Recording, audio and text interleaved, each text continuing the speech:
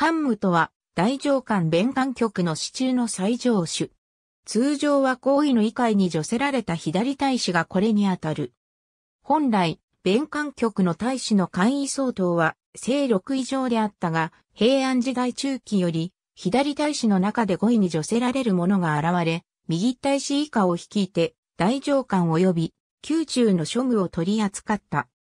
平安時代中期に参道の小家焼氏の小家焼、笹具親観光8年が同氏最初の大武士になり、15年の長きにわたって、その職にあった。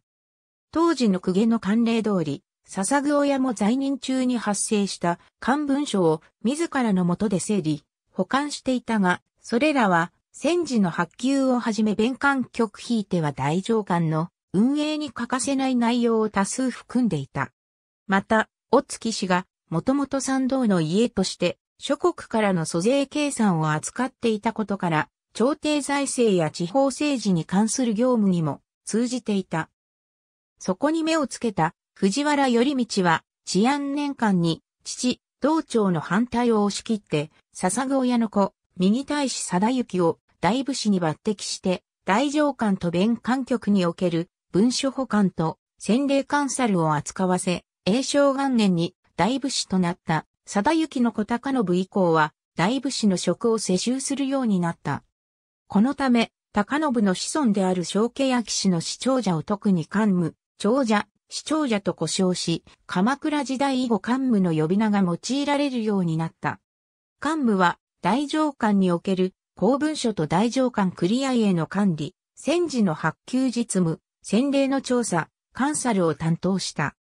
小家焼氏の館に収められた公文書の入った文庫は特に漢文庫と呼ばれ、本来の保管場所である漢不殿が水尾廃絶すると、もっぱら漢文庫で保管されるようになった。鎌倉時代より、小家焼氏は、身部漢無家と大宮漢無家に分裂するが、戦国時代に大明寺の変で、大宮家の小月維持が殺されて、大宮漢無家が断絶すると、身部官無家が代々担当するようになった。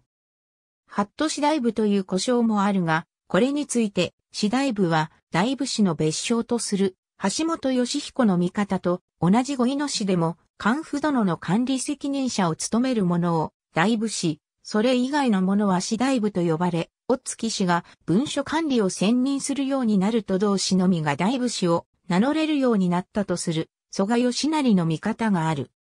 6位が官位相当であった文は、毎年の字目において年老が多いもの一名が準尺の一種で、ある、詩順によって恋の受領に任ぜられるのが慣例とされていたが、官標年間の身分望む罪以降、恋の左大使が任ぜられるようになった。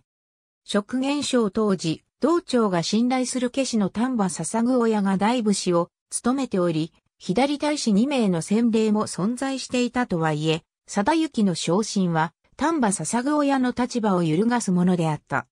五二条市通期、漢字6年2月18日上特に12世紀に入ると、お月氏の市長者による左大使世襲は、樹木の大間書に、父譲るとして明記される形で公認されることになる。ありがとうございます。